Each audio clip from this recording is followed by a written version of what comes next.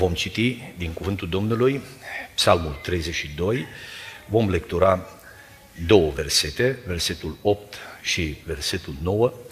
Vă invit cu respect să stăm ridicați și să ascultăm cuvântul. Eu, zice Domnul, te voi învăța și îți voi arăta calea pe care trebuie să o urmezi.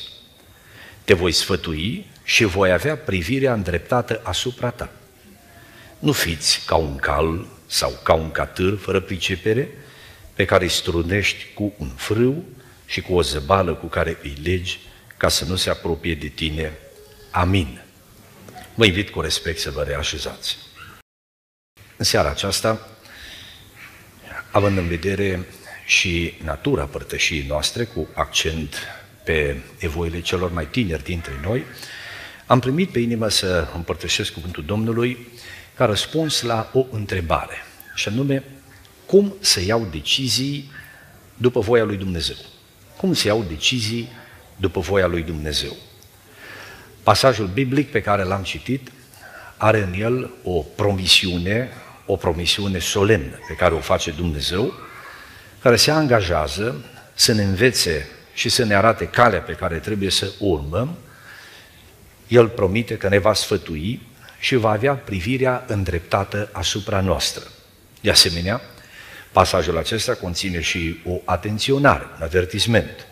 Nu fiți ca un cal sau ca un catâr, fără pricepere, pe care strunești cu un frâu și cu o zăbală cu care îi legi ca să nu se apropie de tine. Cu alte cuvinte, promisiunea lui Dumnezeu că El ne va arăta calea și ne va călăuzi în deciziile pe care urmează să le luăm în viață, este dublată de atenționarea să nu fim încăpățânați, să nu o ținem morțiși pe a noastră, că s-ar putea să ne găsim în situația în care să o luăm pe o cale greșită datorită acestei încăpățânări.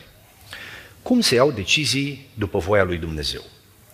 Mai înainte de a intra în detaliile acestui cuvânt, aș dori să uh, subliniez două observații.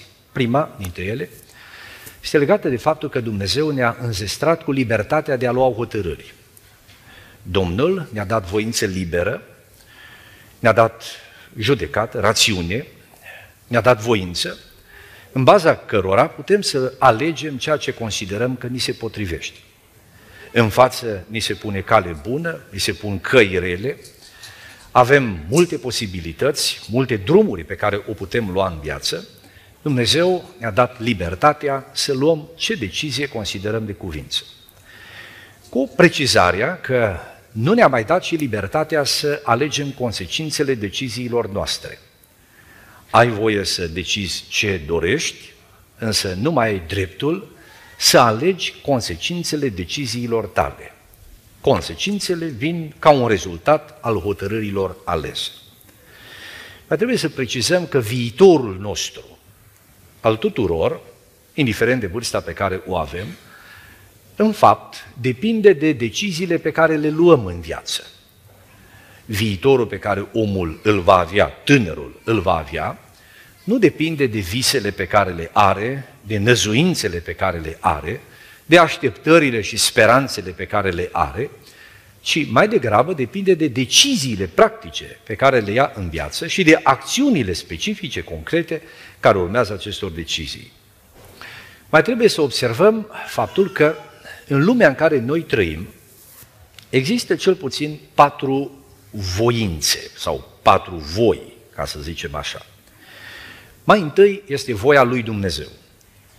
Voia lui Dumnezeu cuprinde planul pe care Dumnezeu îl are cu privire la fiecare dintre noi, dintre oameni. Un plan bun, un plan care se suprapune cu fericirea noastră, cu binele nostru suprem.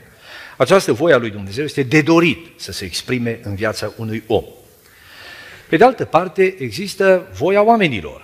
Cei din jurul lor au și ei părerea lor, voia lor.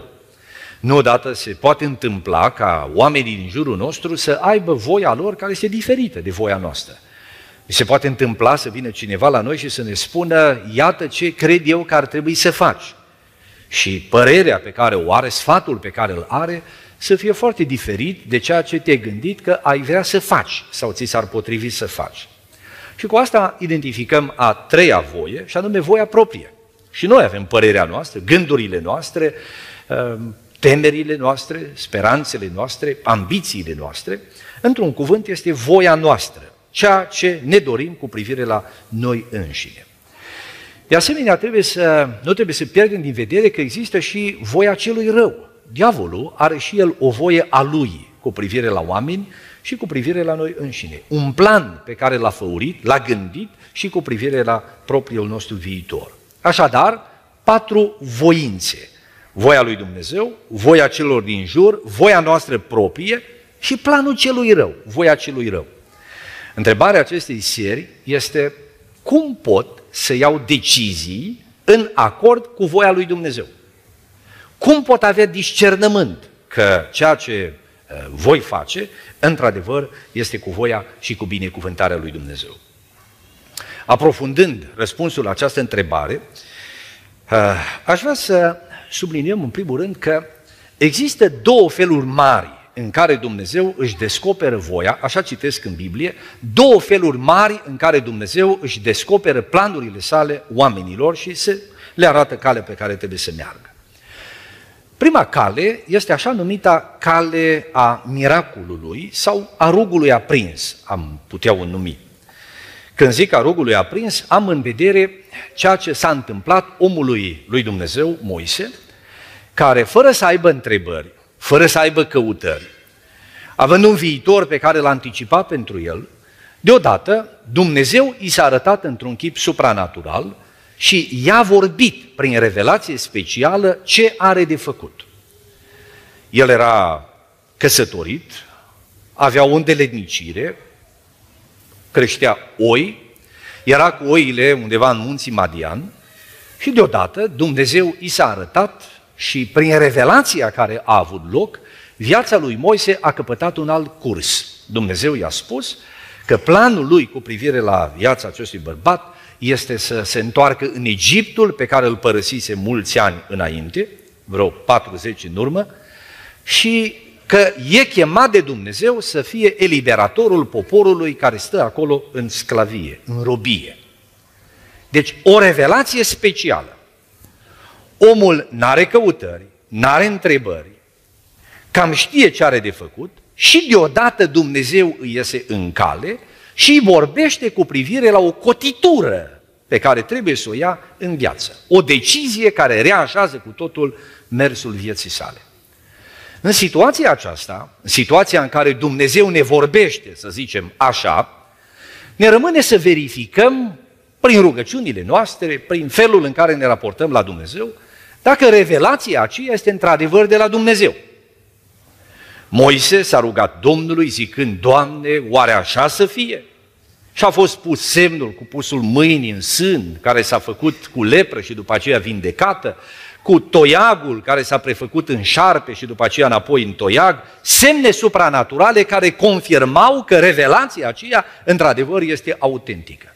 Exact după același model a lucrat și Gedeon care n-avea întrebări, nici nu-i trecuse lui prin minte că planul lui Dumnezeu cu privire la el este să fie conducătorul armatei de eliberare de sub robia, robia madianită. Nu se gândea la asta. Dar Domnul i s-a arătat, i-a vorbit cu privire la acest plan, iar acum lui Gedeon îi rămâne să verifice dacă într-adevăr i-a vorbit Dumnezeu și dacă a înțeles corect ceea ce Dumnezeu i-a spus. A fost semnul cu lâna, cu roa, cunoașteți locul din Scriptură. Ei, într-un cuvânt, calea rugului aprins. O intervenție supranaturală a lui Dumnezeu, în urma căreia pune în fața noastră o hotărâre pe care trebuie să o luăm, un plan pe care trebuie să-l ducem la îndeplinire. Uh, mine minte un exemplu din experiența proaspătă cu Dumnezeu, care ilustrează cum lucrează în zilele noastre acest fel al lui Dumnezeu de a lucra cu oamenii. Uh, probabil am înțeles de la fratele Radu că v-a împărtășit această uh, experiență, cel puțin o parte a ei. Uh, este vorba de ceva ce s-a întâmplat ca răspuns la niște rugăciuni pe care le-am adus lui Dumnezeu cu privire la școală. Anul 2020 a fost un an foarte greu pentru noi. Uh, simțeam uh, în primăvara acestui an că apare un blocaj atât în lucrările de la șantierul de, pe la, de la școală, cât și în alte activități pe care le avem acolo. Și cu sufletul așa strâns mă gândeam ce e de făcut și cum să o scot la capăt.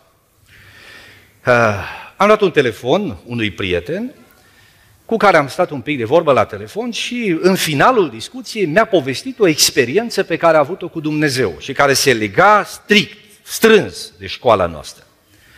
El mi-a spus că într-o noapte a avut un vis.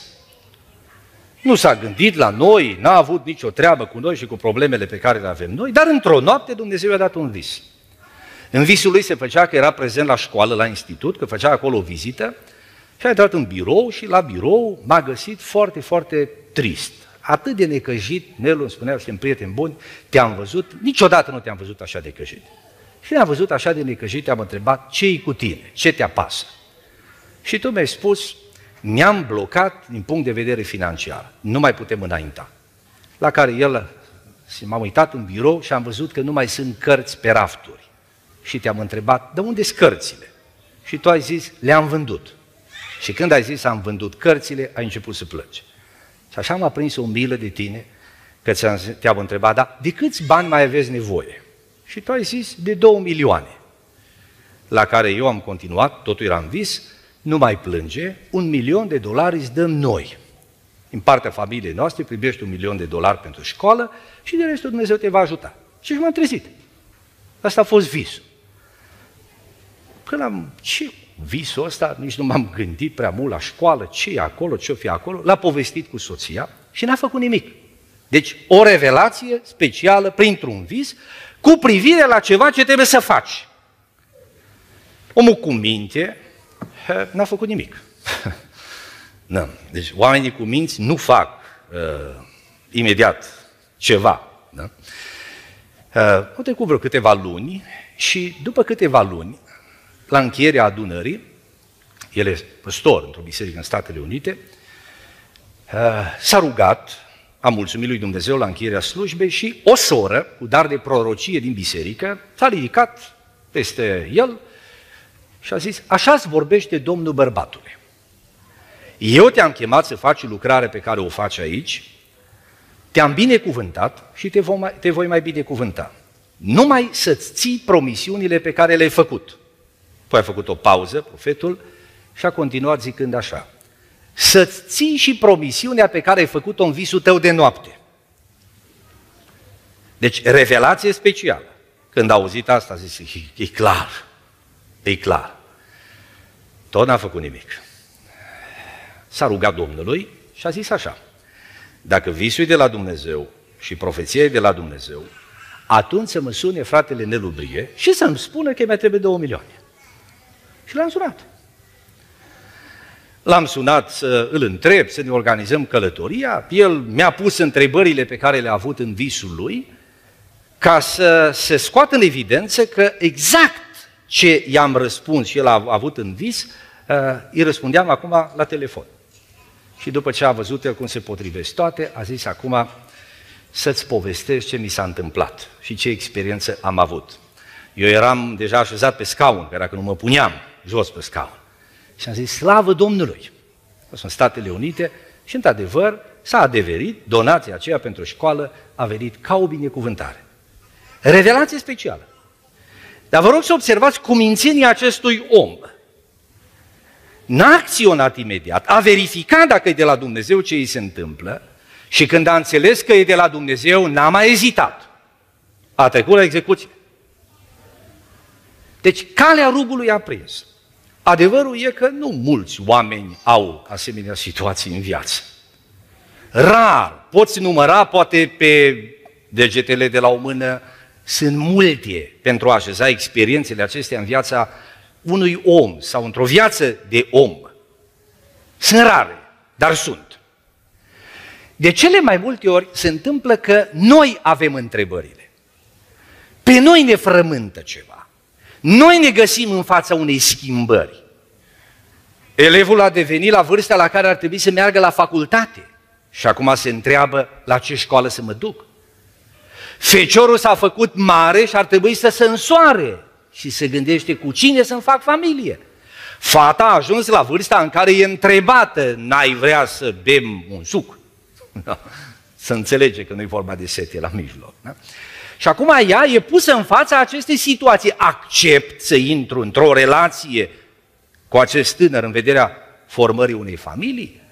Sau alte și alte situații și spețe care pot apărea în viața noastră și prin natura circunstanțelor suntem efectiv constrânși să dăm un răspuns. Întrebarea e cum vom ști că am hotărât după planul lui Dumnezeu? Ce fac, cu alte cuvinte, dacă n-am ruga prins? Primul lucru pe care vă sfătuiesc și vă îndemn să-l faceți este să cunoașteți bine problema în care aveți nevoie de călăuzire. Să o definiți clar. Să fie limpede, limpede în minte ce e de făcut.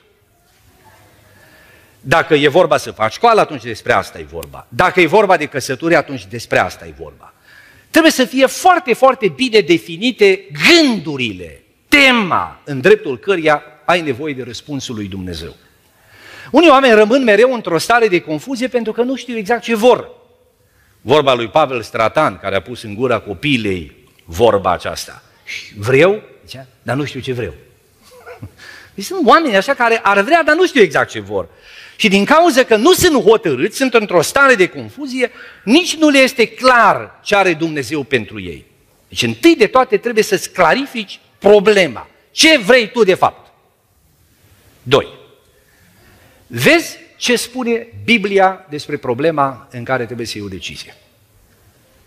Să presupunem că tema care frământă este legată de căsătorie. Vreau să mă însor, vreau să mă mărit. Bun.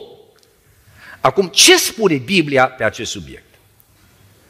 Vom cerceta cuvântul Domnului, vom căuta învățătura Scripturii pe subiectul cu pricina și dacă Scriptura ne pune la îndemână o învățătură, o poruncă, ne aduce o claritate, ne rămâne să facem ce scrie în Biblie. Și cu asta s-a încheiat căutarea. Întrebarea care se pune mai departe este, dar dacă în Biblie nu scrie nimic specific, concret, la problema pe care o am eu, ce fac de aici încolo? Imaginați-vă situația în care o fată este curtată de un băiat care e manierat, e bine educat, e dintr-o familie bună, un om uh, cum se cade, nu-i lipsește nimic, are doar o singură problemă. Nu-i credincios. În rest le are pe toate numai asta. Nu întors la Dumnezeu. Și acum fata noastră, care a apucat să-L cunoască și între ei să fie așa o uh, simpatie, se întreabă dacă este voia lui Dumnezeu să-și facă familie cu un asemenea tânăr. Ce are de făcut? Întrebarea este, e voia lui Dumnezeu să mă mărit cu un om care nu-L cunoaște pe Dumnezeu? La această întrebare, cu această întrebare în minte, ea trebuie să meargă la Biblie. Și în Biblie va descoperi învățătura că nu e binecuvântată de Dumnezeu căsătoria făcută între un credincios și un necredincios. Că nu e înțelept să ne jucăm la un juc nepotrivit cu cei necredincioși și că cine se căsătorește să se căsătorească în Domnul. Asta spune în Biblie. Atunci rămâne să ne conducem după ce este în Biblie. Dar ce te faci dacă omul s-a întors la Domnul? Acum, criteriile acestea din Scriptură sunt lămurite. Cercul e larg, e deschis, drumul e liber. Ce am de făcut? În situația aceasta, stimați frați și stimate surori, vă sugerez următorii pași practici. Personal, de vreo 20 de ani încoace și mai bine, când este să iau hotărâri, cam după modelul acesta iau deciziile. Primul lucru, vezi ce spune Biblia despre problema ta. Deci, din nou la cuvânt, din nou la Scriptură. În Scriptură vom găsi înțelepciunea lui Dumnezeu vom găsi atmosfera voii lui Dumnezeu. Familiarizându-ne cu învățătura Scripturii, ne vom înzestra cu o înțelepciune, cu o putere de discernământ care ne va fi de mare ajutor în a discerne ceea ce ne vorbește Dumnezeu specific, în spețe, în probleme neclarificate în Biblie. În Biblie, la un exemplu, tot revine, nu știu de ce, la tema aceasta cu căsătoria, în urmă cu, da, era 99, deci 22 de ani să împlinesc în acest an, mi-am făcut familie, Domnul ne-a binecuvântat, uh, eram slujitor, eram păstor. Uh, Și acum era întrebarea cu cine mă însor. A venit situația aceasta în față, mi-a s-a atras atenția, uh, soția, am cunoscut-o, m-am bucurat să văd în ea o tânără credincioasă, cu frică de Dumnezeu, mă zic în paranteză, am și botezat-o în apă înainte. Da? Da, ea mai zice, nu mai, nu mai zi asta. De un adevăr. Uh, și sigur că era întrebarea, bun, e fată credincioasă, e în adunare, totul e în regulă, dar oare e planul lui Dumnezeu? Vrea Dumnezeu să facă asta? E de la El? Uh, înțelepciunea cuvântului m-a făcut să cuget și să mă rog profund. Deci, întâi vezi ce spune Biblia la problema ta. Al doilea lucru foarte important, un pas foarte important. Fă legământ că vei asculta de ceea ce îți va cere Dumnezeu, indiferent de ce îți va cere să faci. Ia decizia că vei asculta de Dumnezeu, orice ți-ar spune, ce ți-ar cere să faci. Uh, problema multora este încăpățânarea. Ei au luat hotărârea dinainte. Iar acum, cu hotărârile luate, se duc la Dumnezeu doar să ia aprobare de la Dumnezeu, nu sfat de la Dumnezeu. Cumva deciziile au fost luate, zarurile au fost aruncate, planul e făcut și la Dumnezeu se duce doar să-și pună semnătura pe hârtie. Asemenea, inimi nu mai aud ce are Dumnezeu să le spună, din cauza că ei deja știu ce ar vrea Dumnezeu să spună pentru ei. Și așa intrăm într-o zonă de confuzie care ne costă în viață mult. Vom scăpa de cursa aceasta, lepădându-ne de noi înșine, de punctul nostru de vedere, de propriile noastre alegeri, decizii și încăpățânări, punându-ne viața în mâna lui Dumnezeu. Obiectivitate.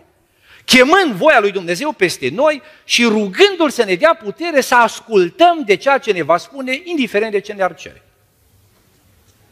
Această lepădare de sine, în fapt pregătește inima ca să audă ce are Dumnezeu de spus. Pasul 3. Roagă-te lui Dumnezeu să fii călăuzit. De când m-am întors la credință, am învățat acolo, la Ferici, în părțile Beiușului, unde am întors la Domnul, am învățat un lucru simplu. Nici o hotărâre fără rugăciune. Așa ne spuneau frații. Pune înaintea Domnului. A pune înaintea Domnului înseamnă a intra în rugăciune, a intra în post, a te duce la cercuri de rugăciune, cum se întâmpla atunci și cred că și dumneavoastră aveți în Oradea. Și dacă Domnul binevoiește prin cineva cumva să ne vorbească, Domnul care știe taina inimii ne vorbește. Poate să ne dea un vis într-o noapte, poate să pună un cuvânt de înțelepciune în gura unui frate cu care stau de vorbă, poate să vină un sfat prin părinții mei, poate să vină o profeție, poate să fie o vedenie, poate să fie o predică, poate fi o strofă de cântare, în atâtea și în atâtea feluri ne poate vorbi Dumnezeu. Noi ne rugăm să ne călăuzească. Cere lui Dumnezeu să iei decizii corecte. Însoțește-te și cu alți oameni în rugăciune. Nici o hotărâre fără rugăciune. În timp ce uh, cugetăm la planul lui Dumnezeu, citim Scriptura, ne lepădăm de propriul nostru punct de vedere, mijlocim ca Dumnezeu să ne arate calea pe care vrea să, urmă, să umblăm, s-ar putea ca Dumnezeu să ne vorbească prin profeție. Să ne descopere planul lui efectiv. Să vină în fața noastră și să ne onoreze cu cuvântul lui. În multe feluri se poate întâmpla Dumnezeu să lucreze în această privință. Vreau să spun o experiență personală. În urmă cu ceva vreme, eram uh, uh, într-o situație de viață destul de complicată, cu sănătate destul de șubredă, uh, descurajat, uh, oarecum și obosit, și în acest context, pe fondul unor vizite făcute în uh, Australia, am luat decizia, la invitația fraților de acolo, într-un context aparte, să mă mut acolo împreună cu familia. Numai eu și soția am știut de această decizie. Greu am luat decizia. Mult ne-am rugat, ne-am frământat și am zis, gata, asta trebuie să facem. Dar n-am zis la nimeni nimic, decât a fost în gândul nostru. Noi așa am învățat, după ce luăm o decizie, nu o punem în practică imediat, ci cu decizia aceea ne ducem în rugăciune înaintea lui Dumnezeu să o supunem verificării lui Dumnezeu. Dăm un răgaz ca Dumnezeu, în îndurarea Lui, să intervină în viața noastră și să ne oprească dacă nu-i bine ce avem de gând să facem. Eram acum în etapa asta. Unul dintre frații de la noi din adunare i-a zis, frate Nelu, nu vii cu mine până la o familie. Bine, a zis, vin. Așa am intrat în familia cu pricina și chiar când noi intram în casă, doar am apucat să-i salutăm, ei erau ridicați în picioare, mai era cineva acolo la ei, pregătiți să facă rugăciune. Ne-am pus și noi acolo în genunchi și ne-am rugat. Printr-o soră cu dar de prorocie din, uh, din casa respectivă, a ieșit pentru mine un cuvânt. Așa îți vorbește Domnul bărbatule. Să nu zici, nu mă mai duc. Eu așa am zis, să mai meargă în evangelizări și drumuri alții cât m-am dus eu. Eu îmi fac bagajele și plec în Australia. Și acum a ieșit prin prorocie. Să nu zici, nu mă mai duc. Eu te-am chemat să te duci și te vei duce. Numai să știi că în drumurile tale unii oameni vor căuta să te oprească în loc și îți vor zice rămâi cu noi. Iată ce zice Domnul. Drumurile tale, toate drumurile tale să aibă dus și întors. Deci, din două vorbe, două probleme mari s-au lăburit. Apoi a continuat în profeție zicând, pentru întărirea ta, zice Domnul, ia 10 zile deosebite. Când eu am auzit uh, partea asta, am zis, aici nu mi-e bine. Eu sunt foarte critic cu genul acesta de mesaje, o critică, desigur, constructivă, biblică, dar critică, nu credulitate. Echilibrată de credință, dar critică. Și asta nu e de la Domnul. Eu nu mai pot, cum să postesc eu 10 zile în starea în care mă găsesc? Numai că profeția nu se încheiase. Și sora Vali, despre asta este vorba, a continuat zicând, dar nu de post, zice Domnul. Că eu care știu ce poate trupul și ce nu poate, nu de post. Zece zile deosebite. Și acolo s-a oprit. Lăsa acasă, spus soției, gata, s-a încheiat cu Australia, uite ce se întâmplă. Zic, oare ce-o fi zile deosebite? Ea este o fire pragmatică, foarte practică așa. Și îmi zice, auzi, dacă sunt deosebite, înseamnă că de alea n-ai. Și povestind între noi, ne-a dat seama că ne-ar trebui 10 zile libere, de alea n-aveam. și ne-am așezat, Domnul s-a atins de noi și continuăm să slujim în locul în care ne-a așezat Dumnezeu. Deci, te uiți în Biblie să vezi care e voia lui Dumnezeu. Te lepezi de părerile și de punctul tău de vedere și aștepți să vezi ce zice Dumnezeu în timp ce te rogi. Și așa ne-a vorbit. Sigur că nu întotdeauna intervine un cuvânt de profeție. Sau dacă va interveni, va interveni când va vrea Dumnezeu, nu-l putem fabrica. Îndemnul meu pentru dumneavoastră este să nu forțați zona aceasta, că s-ar putea să greșiți. Eu am cunoscut oameni care au forțat. Suna la un frate, s-a dus la rugăciune, nu au avut cuvânt sau nu au fost concludent, cum o zice cineva. Mai mers odată, mai mers odată, mai sunat în dreapta, în stânga. Și atâta până când a auzit ce a vrut să audă. Asta este o cursă. Eu am băgat de seamă că dacă Dumnezeu vrea să-mi vorbească prin Duhul profetic, se va îngriji să ajungă la urechea mea acel mesaj. Se va îngriji să creeze contextul în care îmi va vorbi, dacă eu aștept și mă rog să se întâmple asta. Mă, dacă nu crezi, dacă fugi, e limpede. Unde să-ți vorbească? Pe stadion? Da? Și acolo te poate găsi până la urmă dacă chiar va dori. Însă, cine e căutător de a face voia lui Dumnezeu în viața lui, se va așeza în contexte duhovnicești în care Dumnezeu îi va putea vorbi. Uh, mai e ceva, încă un pas, al patrulea. Deci, vezi ce zice Biblia, renunță la părerea ta, la punctul tău de vedere, leapădă-te de sine, roagă-te să fii călăuzit și patru, ia aminte la vocea lăuntrică a Duhului. Înăuntru nostru, în contextul rugăciunii și cugetării noastre, Dumnezeu, prin Duhul Său, ne va deschide inima spre o anumită direcție. Ne va așeza în inimă o cale, o certitudine, un gând, va pune Dumnezeu ceva în noi. Va fi acea voce fermă, liniștită, convingătoare a lui Dumnezeu, care ne va arăta calea pe care trebuie să ne ducem. Inima, zice psalmistul, îmi zice din partea ta, caută fața mea și fața ta, Doamne, zicea el, o caut. E foarte important și aspectul acesta. Nu odată, stând de vorbă cu oameni care aveau nevoie de sfat, de direcționare, în discuțiile noastre era tocmai asta în atenție. Și ce simți că ai vrea să faci? Cum e inima ta?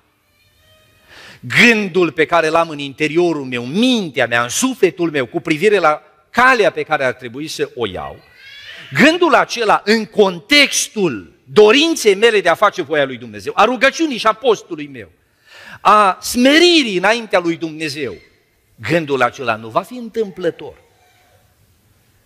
Îl va pune Dumnezeu acolo. În inima băiatului va pune drag de fată, în inima fetei drag de băiat, se va închega, se va lipi ceva acolo. Te va trage inima spre o anumită școală pe care vei simți că trebuie să o faci și se potrivește. Da? Adică înăuntru tău vei simți direcția. Duhul, Duhul lui Dumnezeu va vorbi. Sigur că nu e momentul să iei decizia.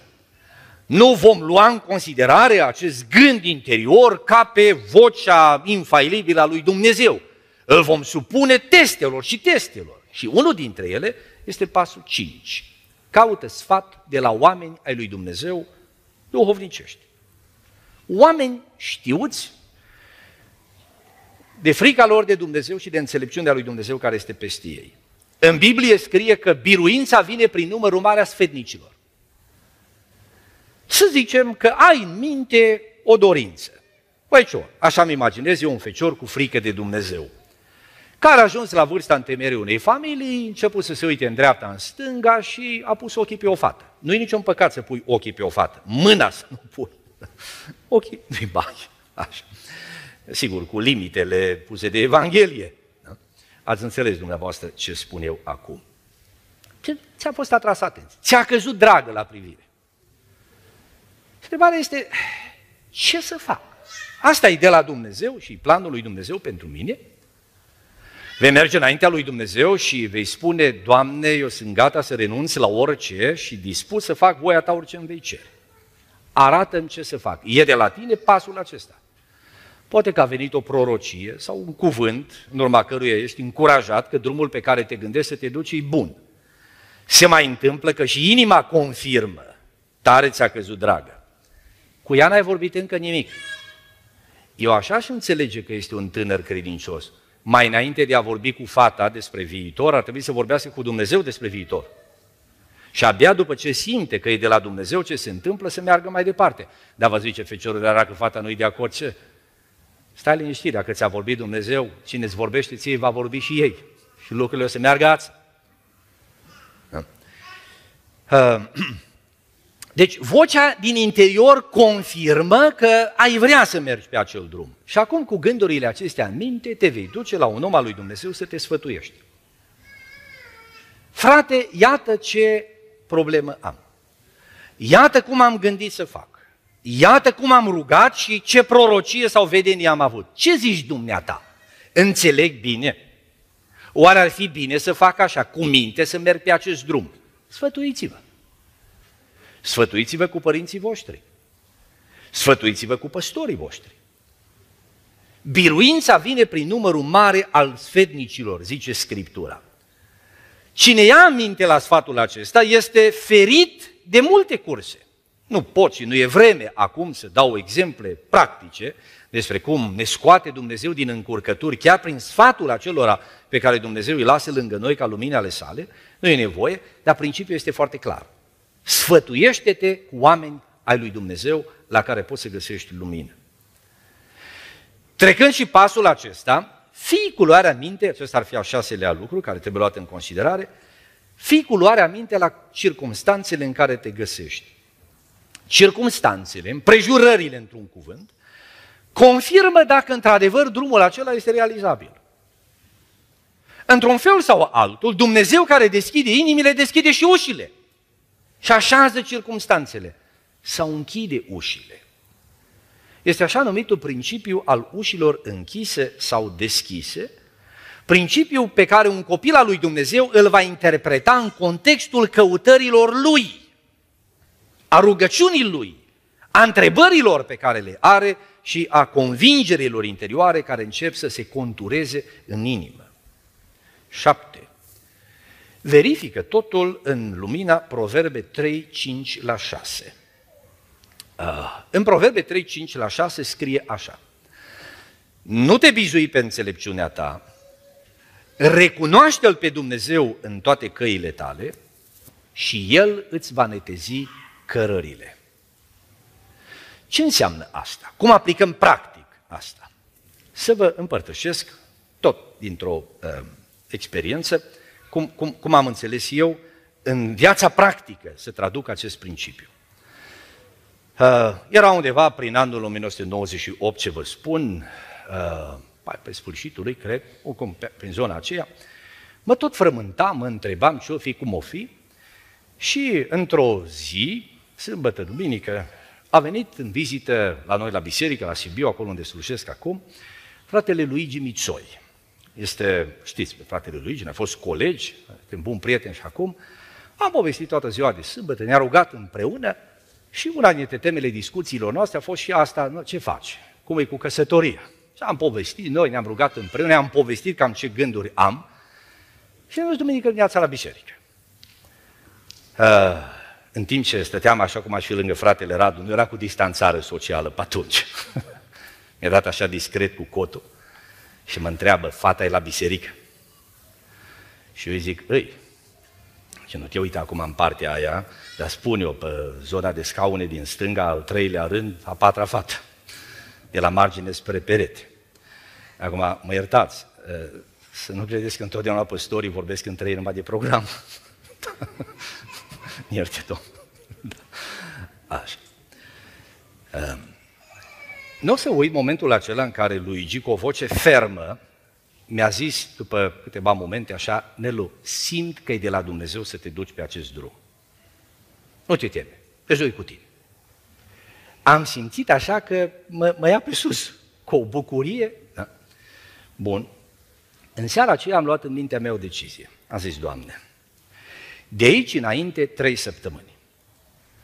Dacă e voia ta să mă căsătoresc cu Laura, te rog frumos, spune da. Și ne vom face familie. Dacă nu e voia ta, spune nu. Și te voi asculta. Și în timp ce mă rugam, mi-a venit în minte un gând. Dar dacă în astea trei săptămâni Dumnezeu nu zice nici da, nici nu, eu ce mă fac? Și atunci am clarificat problema din prima rugăciune. Am zis, Doamne, dacă la sfârșitul celor trei săptămâni nu vei zice da, nu vei zice nu, eu spun de acum cum interpretez tăcerea. Mă însor cu fata, să fie clar. Când spre asta mi era inima. Cum am sfârșit rugăciunea, acum am știut că Dumnezeu va tăcea. Pentru că îmi vorbisem de ajuns și acum era vremea să-mi asum eu responsabilitatea deciziei. El promițându-mi că e cu mine. Au trecut cele trei săptămâni, s-au încheiat, la sfârșit, emoție, oare ce o zice, dacă îi zic, dar Dumnezeu s-a îngrijit și de inima ei și cum i-a vorbit, o să vă spune ea altă dată. Nu spun eu acum de ale ei, am spus numai de ale mele. Principiul este simplu. Ai în față o decizie de luat, ți-a vorbit Dumnezeu, știi cam ce ar fi de făcut, nu pune în practică mâine. Mai las o noapte, mai las o seară, Lasă lucrurile să se așeze. Da? De cele mai multe ori situația și circumstanța este de așa natură încât permite această amânare. Nu trebuie să cădem în cursa forțării lucrurilor. Așezate, e mai bine. Ia acel răgaz și Dumnezeu îți va vorbi și se va așeza ceea ce ai de făcut. După ce s-au clarificat lucrurile, acum este momentul să iei decizia și să acționezi. Poate că Dumnezeu ți-a vorbit supranatural, ai verificat ce ți-a vorbit prin profeție sau cum a fost, sfătuindu-te, ai pus și răgazul acela, ai trecut cu bine și acest moment, de acum trebuie să iei problema în mână. De acum trebuie să acționezi. Aici mulți împotmolesc. Uh, vai, oare... Nu, nu.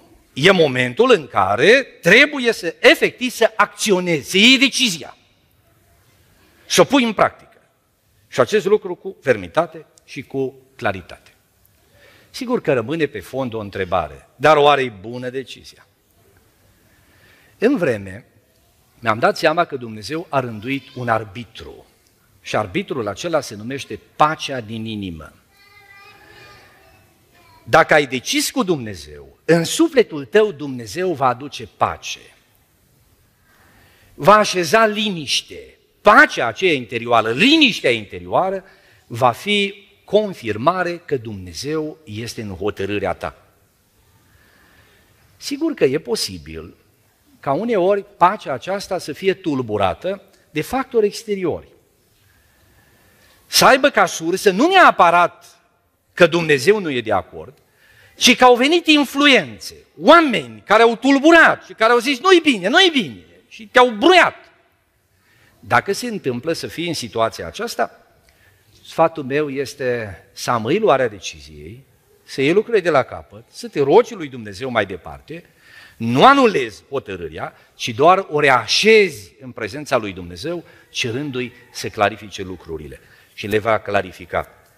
Eu așa îl cunosc pe Dumnezeu și așa umblăm în relația cu El, El va clarifica. Dumnezeu va vorbi oricui cu adevărat dorește să audă vocea lui Dumnezeu. Stimați frați, și în mod deosebit, dragi tineri, vă îndemn, sunteți la începutul vieții, unii dintre voi vă așteaptă în viață decizii grele și nu știu cum a rânduit Dumnezeu cele ale vieții, că ciudată e când ne-a dat Dumnezeu putere la tinerețe, nu ne-o dat minte. Asta e. Și pe când ne dă mintea, vorba lui Vumbrand, ne ia la schimb puterea. Da? Crește mintea, scade puterea. Și când te ajungi acolo cu multă minte, nu mai poți face nimic cu ea. Da? Cum vom compensa oare lipsa de experiență? Cum o vom putea compensa? Că cele mai grele decizii de luat în viață omul le are de luat la tinerețe atunci face școală, atunci își face familie, atunci se așează unde se așează, atunci își hotărăște viitorul profesional la tinerețe. Domnul fie binecuvântat că ne era curajul, că dacă ne-ar fi numai mintea și n-ar fi și curaj, am încurcat o rău de tot. Așa pățesc mai ales feciorii tomnatici și fetele tomnatice, care au căpătat între timp minte, dar care și-au pierdut curajul. Și în cauza asta rămân necăsătoriți, ca au minte, dar nu mai au curaj. Poate că e bine să fie mai mult curaj decât minte în unele situații și să intervine Dumnezeu cu puterea Lui supranaturală, compensând lipsa noastră de experiență. Da. Să nu râdeți de mine că vă spun așa, dar am ajuns să zic vorba aceasta după am început să predic Evanghelia la vârsta de 18 ani și slujesc ca păstor din 96. Am văzut destule, ca să-mi dau seama cum e și diavolul Dumnezeu ca prin Duhul Său cel Sfânt să ne călăuzească în toate deciziile pe care le avem de luat în viață. Stimați frați și stimate surori, niciodată să nu ne temem de ceea ce Dumnezeu ar putea să schimbe în planurile noastre.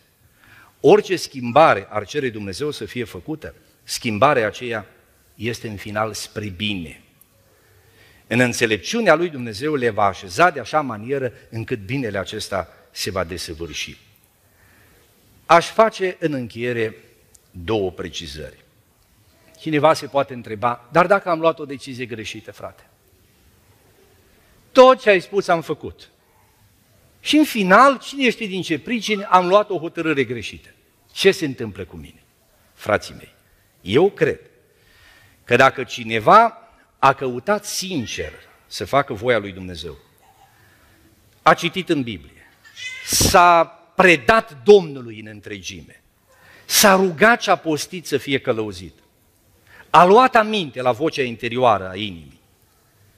S-a sfătuit cu oamenii lui Dumnezeu.